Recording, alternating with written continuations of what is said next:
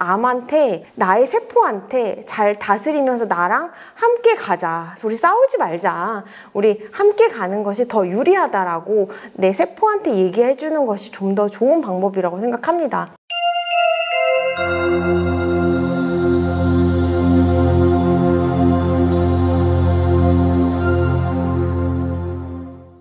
안녕하세요. 조병식의 K 미래의학 조병식 원장입니다. 오늘은 지난번에 이어서 우리 안규비님 모시고 또 말씀 나누겠습니다. 항암을 중단하게 된 계기들을 이제 말씀을 해주셨는데 지금 어쨌든 2년째 병원에서는 항암을 계속 하는 줄 아, 알죠? 네, 맞습니다. 3개월마다 계속 CT를 찍으셨고 네. 그런데 계속 그대로 그대로 그대로 최근은 더 좋은 결과가 있었습니다. 뭐 흔적만 보인다. 뭐 이 정도로 물론 이제 암이 다 없어진 건 아닐 거예요. 네, 맞습니다. 이제 제가 제목을 붙인 게 제 표현은 암을 잠재웠다 이렇게 표현을 하거든요. 암을 잠재운 상태다. 앞으로 이제 3년 남았습니다. 3년 동안 계속 잠재우면 완치 판정 네. 가는 거죠. 네. 그래서 지금 2년 동안 이렇게 또 나름 또 열심히 관리를 해오셨고 사실 80점이면 날날이 아니에요.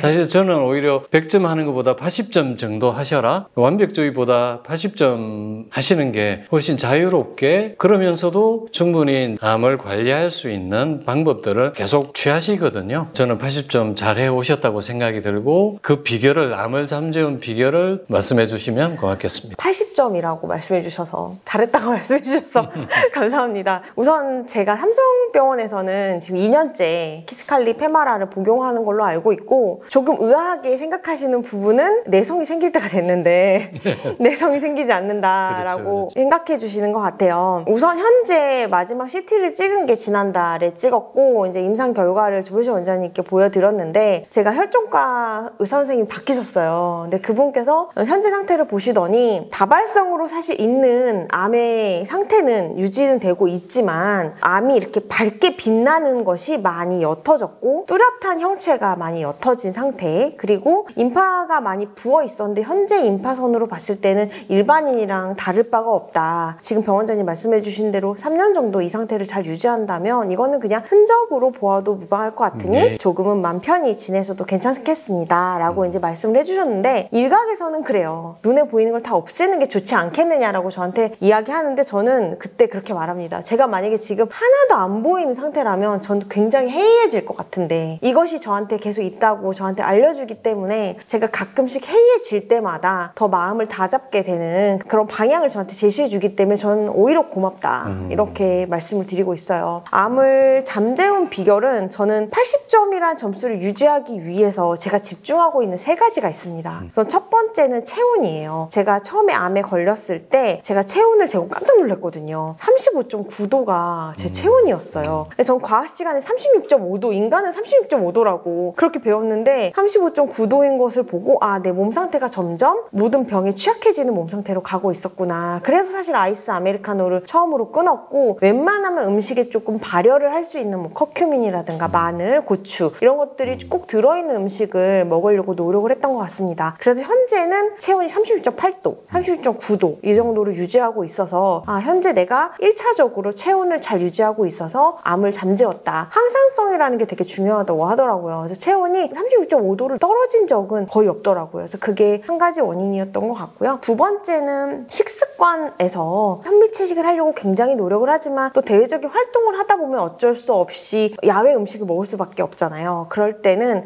아침에는 꼭 닥터조 자연한끼에서 주문한 야채 스프를 꼭 먹고 아침에 사과, 고구마, 토마토 이렇게 기본적으로 제가 꼭 지켜야 될 것들은 아침에 모든 것을 좀 해결을 하는 편이고 저녁이면 되도록 육식은 안 먹고 가볍게 먹으려고 노력을 하는 편입니다. 약속이 있다면 가급적 점심으로 해서 좀 소화를 다 시키고 자려고 노력을 하고 있습니다. 그리고 미네랄을 집중하면서 물에 미네랄이 좀 많이 함유된 물을 먹으려고 노력을 하고 있습니다. 그리고 세 번째는 수면이에요. 제가 어, 예전에 많이 했던 말이 안 자도 안 죽는다라는 말을 음, 많이 했었거든요. 일을 많이 하는 편이었기 워커홀릭. 때문에 예, 워커홀릭이기 때문에 일을 끝내야 잠을 자는 편이어가지고 잠을 안 자는 것이 저에겐 어, 어떻게 보면 낙이었는데 지금 현재는 누군가가 앉아도 안 죽는다 얘기하면 죽을 수도 있 다.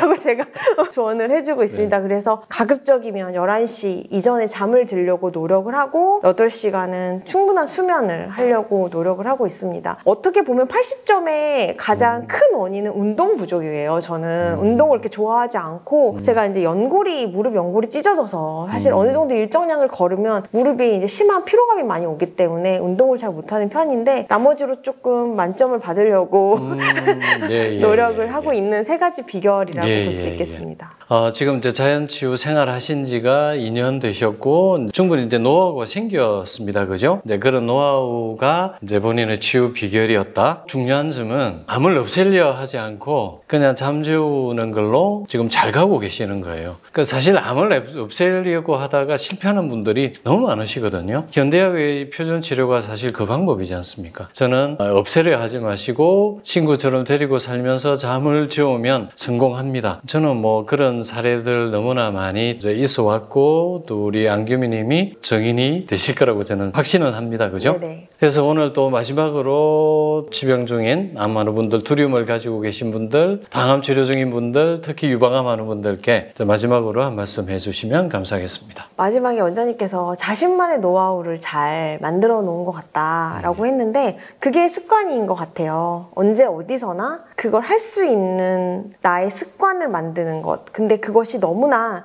강압적이고 타이트하다면은 지칠 수 있는데 적당히 타협을 하면서 할 수 있는 것을 정하는 것이 환우분들이 치병 생활을 하는데 우리가 단기간 싸움이 아니라 장기간 싸움이고 죽을 때까지 하는 일이라고 맞아요, 생각을 맞아요. 하기 때문에 그것을 잘 만들어가는 과정이 필요하다고 생각합니다. 인간은 언제나 선택이 기로에서 항상 쓰는 것 같아요. 어떤 것의 선택이 나한테 더 좋을까? 최선은 무엇인가라고 생각을 했을 때 그래도 대부분의 많은 사람들이 선택을 한게좀더 유리하지 않을까?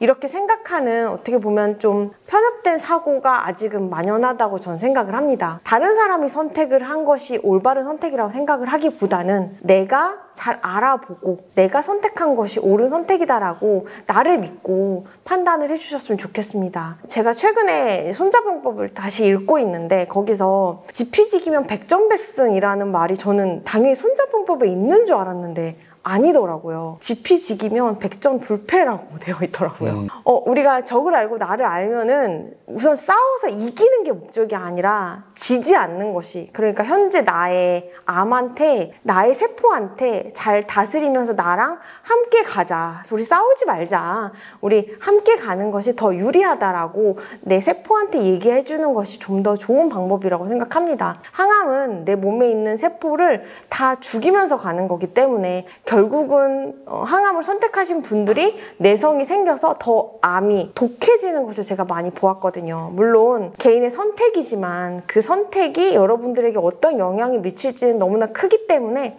더 많이 공부하시고 더 많이 나를 생각하시면서 치병 생활을 하셨으면 좋겠습니다. 이제 뭐 거의 고수가 되신 것 같습니다. 아, 네, 감사합니다. 또뭐 완전히 해결된 건 아니기 때문에 앞으로 3년 잘 관리하시고 승리하시기를 바라겠습니다. 네, 감사합니다. 네, 화이팅입니다. 파이팅입니다.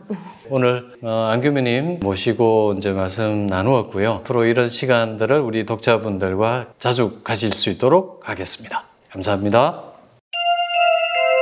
Lord.